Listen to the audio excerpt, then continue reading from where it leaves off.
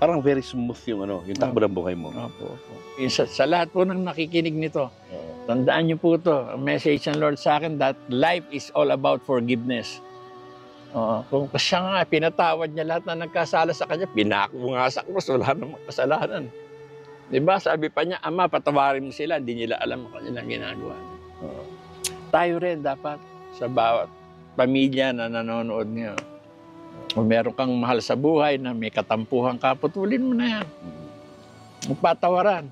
Patawaran kayo. Ha?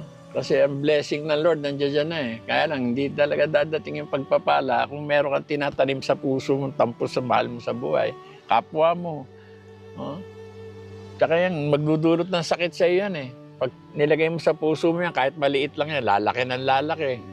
Tampo, galit, magiging puot. Ang kasunod nun, ano, sakit. Kasi magkakasakit ka na eh. Puso mo, isip mo, dugo mo, magkakasakit ka. So, ang message na gusto ko i-share sa is all about forgiveness. Magpatawad tayo sa mga taong nakasakit sa'yo. Kung ikaw naman ang nakasakit, lumapit ka, humingi ka ng tawad. Ayan.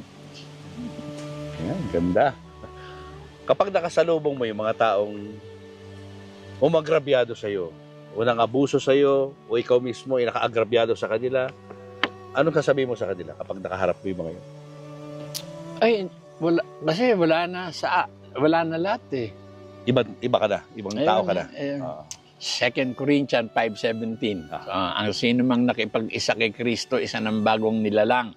Wala na yung dati niyang pagkatao, siya ay bago na. Ah, ako, wala na akong ano. Ang ngayon, medyo may na- nakita ko nga ako nagka, nagkamali. Dati, ah, pa, aawayin mo, no? Ang ngayon, hindi. Papaalalahanan mo.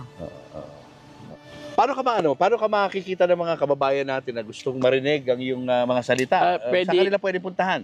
Pwede ka ba nilang i-invite na magsalita sa mga gatherings Pwede nila? naman, pwede naman. Paano ka kukontakin? Ah, bigay ko yung number ko. Papapakita natin sa screen. Mm. Ah, Ito, papakita ko natin yung ah, contact details ni ah, Mr. Dolphy Jr. Kung gusto niyo siyang i-invite sa mga talks, pwede